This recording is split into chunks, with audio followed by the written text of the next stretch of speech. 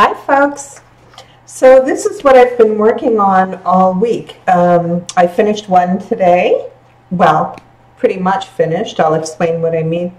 But I wanted to show you what I've been doing with it. So these are, I received this as a gift, these two books, from a very generous friend. I was thrilled. So I used vinyl to put Disney 2018 on the front, and I used um, a font from that I downloaded from DaFont. Uh, it's called Waltograph, and it's a pretty close imitation of the Disney fonts. So the Disney itself is a design space image. The 2018, I used Waltograph. So here we go. So in the book binding, you have these plastic tabs that I really didn't like how they looked. So I added a piece of red vinyl to them.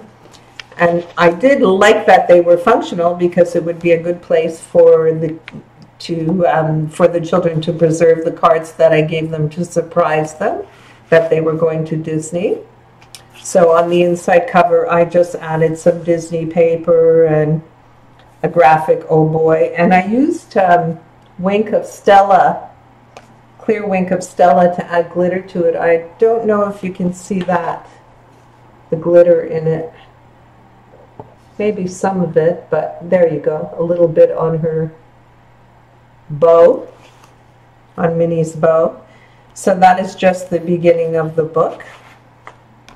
Pop that up. So here we go. Um, I had this graphic paper that I bought, Disney paper from Amazon Canada, and this Mickey was printed on it, and it's kind of foiled. I'm not quite sure what it, how it's done, but you can see the shine in it. There you go. I really like it. So my plan is, of course, to add a photograph to it.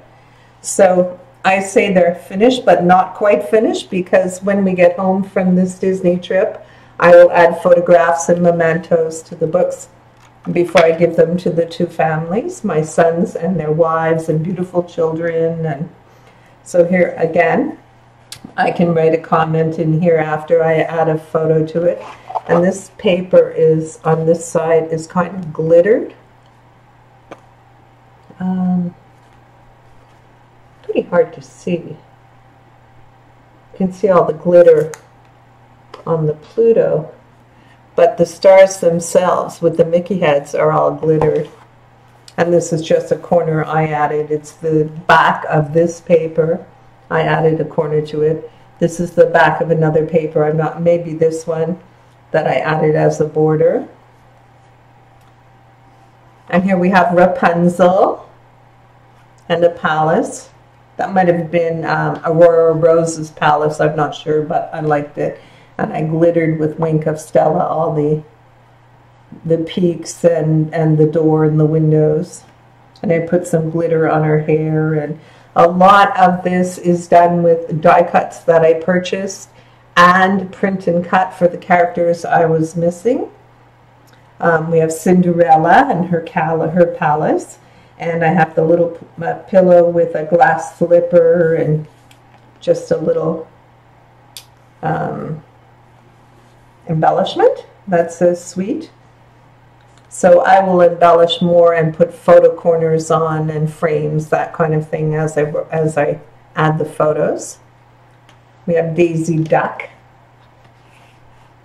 and some flowers, heart border, Minnie Mouse. And again on these I added Wink of Stella to add glitter to them. So hard to see the glitter, but it's glittered. The trim is glittered. Her shoes. And Daisy Duck is all has her bow glittered and the flower and the heart on her purse. I love Wink of Stella, the clear one. I really like it. It just, it doesn't change the color. It just adds glitter. I buy it at Michael's with um, a coupon. So on these two pages, we have Donald Duck and we have Pluto there isn't a whole lot of room to add a photo. So what I thought I would do is get their um, gift cards back after they're finished shopping. And maybe I'll attach this on the inside and maybe put the cards separately or something and put some tickets there or something like that and add it to the inside. But I'm not going to glue it now, obviously, because I have to give it to them. And this paper was printed on the Disney paper that I ordered on Amazon Canada. These were uh, and these were printed on, and I glittered the bone and Pluto and his collar and his bull. And Donald Duck, I glittered his bow tie and the stars around him, all with Wink of Stella.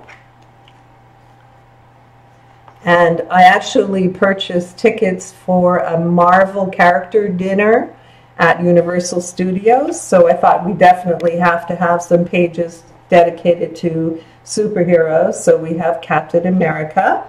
And this is foil and vinyl, Cricut foil and Cricut vinyl that I added to the cardstock. Wink of Stella on some stars I cut out with my maker. And this is a print and cut Captain America.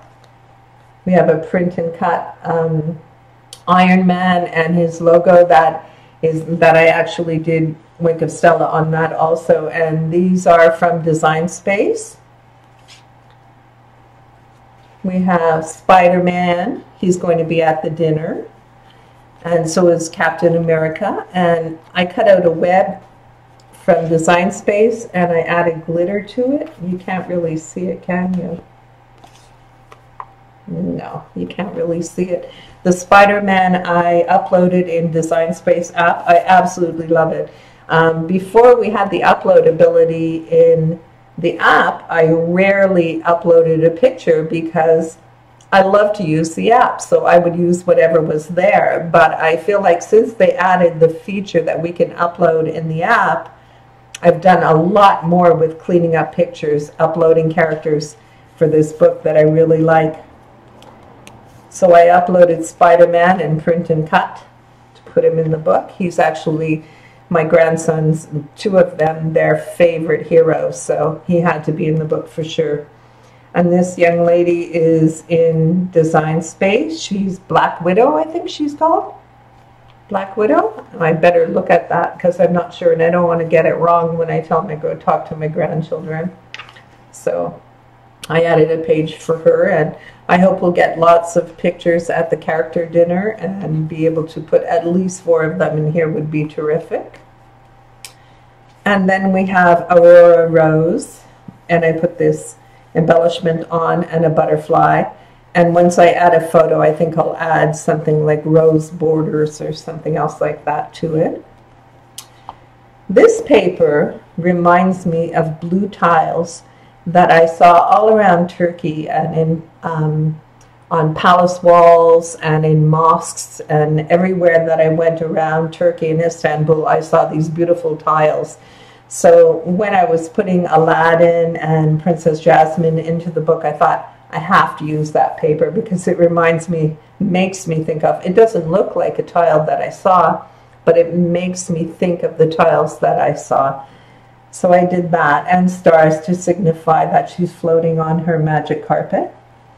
So stars to signify that she's off the ground. I think that'll be fun to add a picture. And of course, Harry Potter. We'll definitely be going to Universal Studios, so we had to have Harry and Hermione, Hermione, I think you say, and I made these little logos print and cut. These are print and cut uploaded through the app. And I just added, after I printed, I added a little glitter to their outfits so that you could to dress them up a little. And I put glitter, Wink of Stella on the broom. When I say glitter, I mean Wink of Stella on the broom ties, on his emblem and around his collar, on his cuff. And uh, on Hermione, I put a little bit in her hair to make it sparkle. On her collar, her belt, and her school logo. So these are all, all of these are print and cut. Actually, the eyeglasses are in Design Space. I had them in Design Space. I'm not sure if I uploaded them or if they were already there. And I took um, a lightning bolt and just made it skinnier so it looked more like what was on Harry Potter's forehead. And then we get back to princesses. So we have Sleeping Beauty, Snow White. Oh my goodness, I'm sorry, Snow White. And we have one of the dwarfs. And I'm going to do some more print and cuts to add some more characters like this along the bottom with a photo. And what I've done is left the picture part, the photo character partially loose so that I would be able to add a photo behind it and put corners on the other three sides or three corners.